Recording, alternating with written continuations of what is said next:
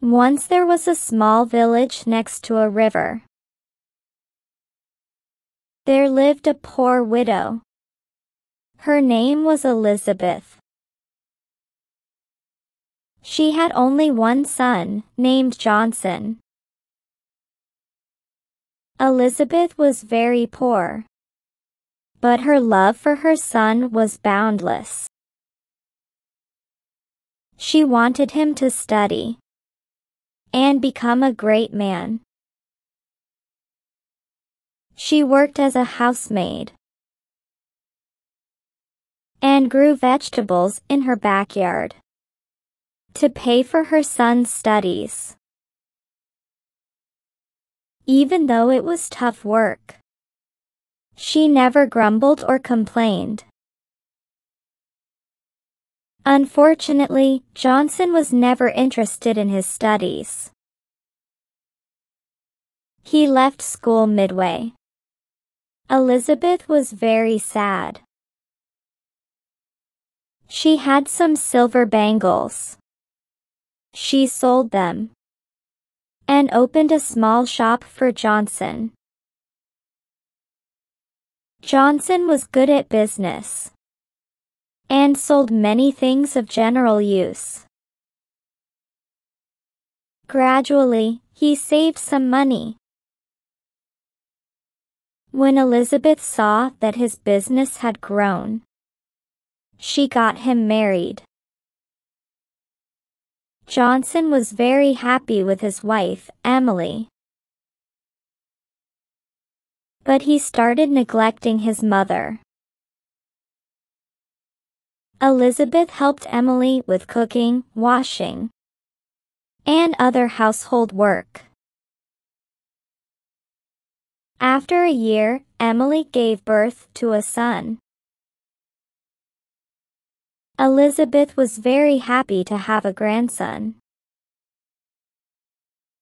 She doted on the child and sang many songs to him every day. But Elizabeth's health began to decline day by day. Johnson had no time for her. He did not take her to a doctor. Once, it rained heavily.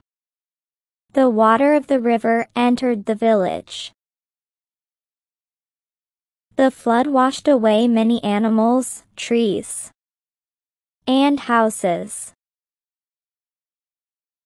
The people were forced to leave the village.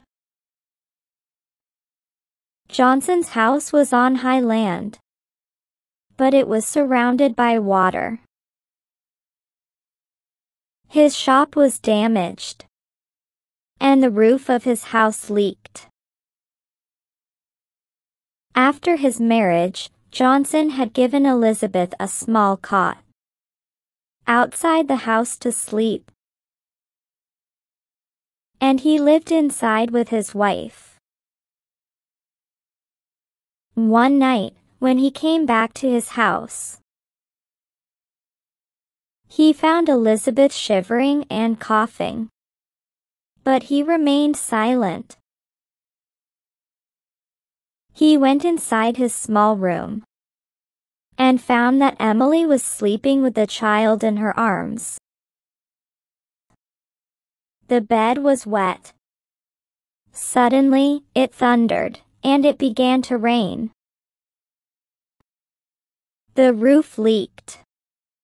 And the child started crying. Emily got up and covered the child with her shirt.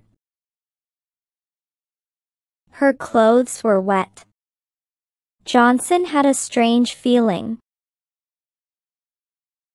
He was moved deeply to see this sight. This reminded him of his childhood days. He thought, My mother did everything for me, even when she was a widow. She worked so hard to give me a good life. I've forgotten all her love and care. I'm not being a good son. I need to change.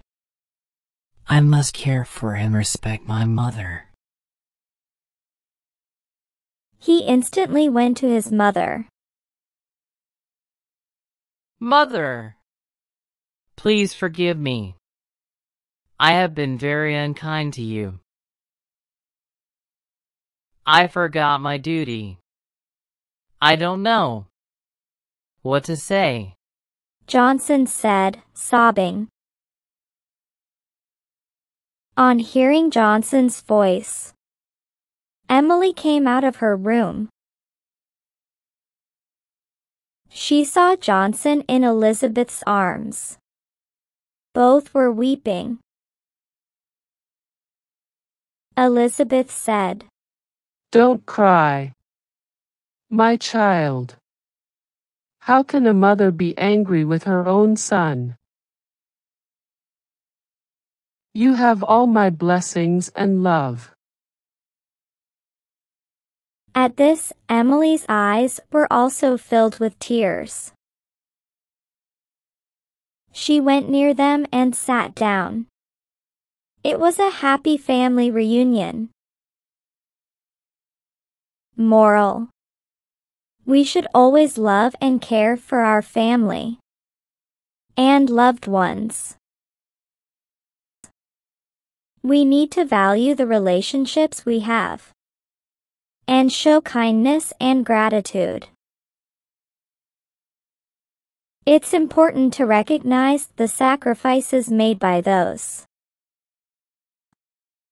who love us and to fulfill our responsibilities towards them with love and respect.